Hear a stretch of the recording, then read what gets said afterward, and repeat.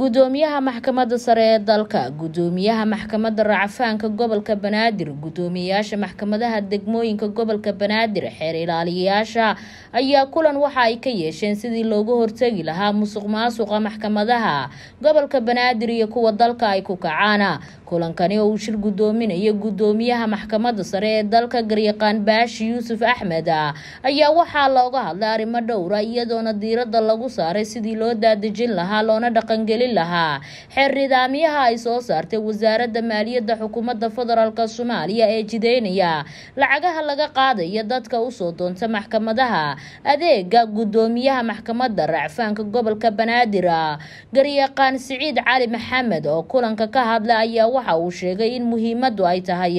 Sida ay u dhaqangeli lahaayeen xeerkani ay wasaaradda soo saartay sidoo kalena loo baahan yahay in maxkamadaha ay ka fogaadaan musuq maasuqa marka khiyaaray bal aan isku dayno saan sumcadda maxkamadda u ilaalino si kalsoonida garsoorka lagu qabo aan kor ugu qaadno si bulshadii adeeg loogu qabanayayna mid nadiif ay u noqoto loogana fogaado wax kasta oo ku takrifal awoodeed iyo xil laga faa'iidaystana meesha ka baxdo in gudoominta saytaha loo dhaqangeliyo maxkamaddana waxa u imaanaya keliya ay noqoto rasiidkaas ay la tacaamulaysa ee lacag qaadis ay meesha ka baxdo. Dhanka kale gudoomiyaha maxkamadda sare ee dalka garyaqaane baashi yuusuf axmed oo dhankiisa ka hadlay kulankani ayaa waxa uu ku baaqay in xeer nidaamyaha lagu jaangooyo duruufaha dalka xoognana la saaro. Sidii wax walba oo musuq maasuqa looga fogaan lahaa maxkamadahuna ay u shaqayn lahaayeen si cadaalada cidda keliyaatee lacag qaban karta ee qof lacag ka qaadi karta waxa weeye waa sarkaalka wasaaradda maaliyadda oo xil saaran hadba meesha la joogo.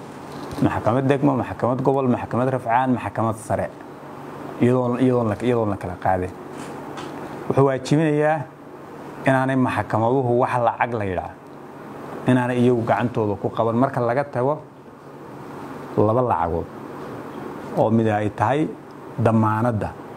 Damaanadda qofka laga dhigayo damaanaddu inta badan waxay u noqotaa qofkii lahaa haddii aanu jebin shuruudihii damaanadda. Haddii qofkaasi uu shuruudihii ka baxuu jebiyana oo ay noqoto damaanaddaasi in lala wareego damaanaddaa maxkamaddu qaadan mayse waa ku dhacdaa qasnadii dowladda markay maxkamaddu soo saarto amarka ah in damaanaddaasi lala wareegay shuruudihii uu qofkii jebiyey ee damaanaddu ay ka taallay darteed waa inay ku dhacdaa qasnadda dowladda lacagta labaadeed qabanaysaan waxa weeye ammaanooyinka aad dadka u kala haysaan.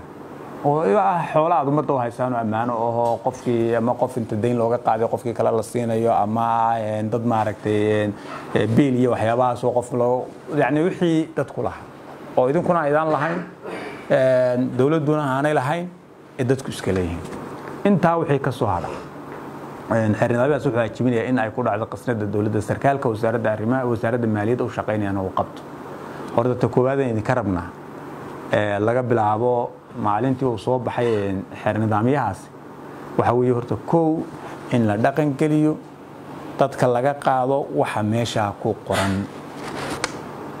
Waxa meeshaa ku qoranna ay qabato wasaaradda maaliyaddu idinkana waxaa idiin imanayaa uu noqdo rasiidkii lacag qabashada ee wasaaradda maaliyaddu ay ku qabatay lacagta kaas dabeetana qofka aad ugu qabataan adeega loogu talagalay. Maryan cali nuur maarisa c b a t v muqdisho